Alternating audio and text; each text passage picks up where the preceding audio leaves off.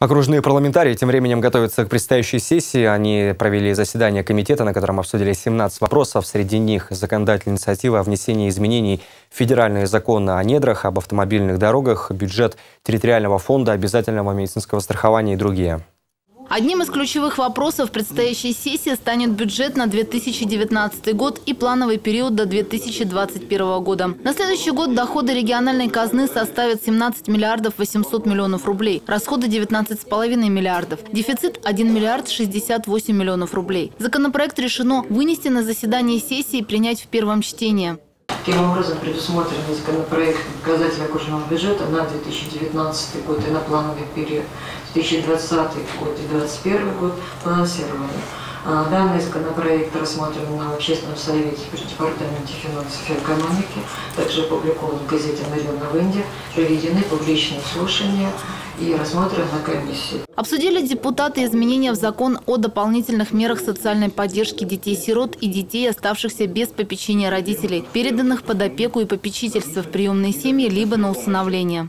При этом закону предлагается расширить перечень целей э, дополнительно включив приобретение товаров длительного пользования, оплату текущего ремонта жилого помещения и компенсацию стоимости санаторно-курортного лечения и проезда членов семьи к отдыха и обратно в пределах территории Российской Федерации.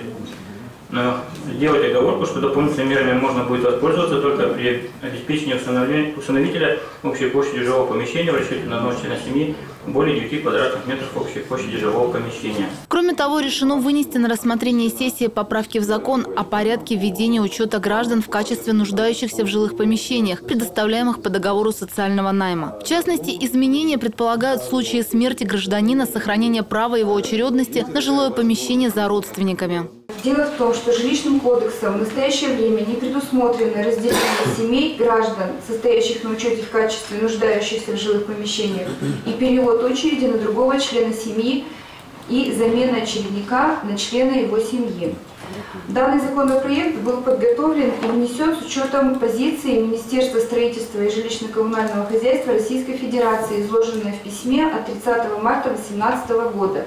В ходе обсуждения проекта бюджета территориального фонда ОМС на ближайшие три года у депутатов возникли вопросы о контроле качества оказания медуслуг. В адрес фонда за 9 месяцев 2018 года поступило 14 жалоб. Из них признано обоснованными 5. Решением проблемы, возможно, стало бы усиление внутреннего контроля, постоянное повышение квалификации медработников. По итогам комитета депутатами принято решение вынести эти и другие вопросы на заседание сессии, которое состоится завтра, 8 ноября.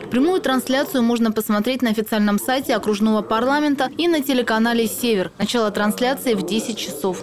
Ольга Русул, Антон Водряков, телеканал «Север».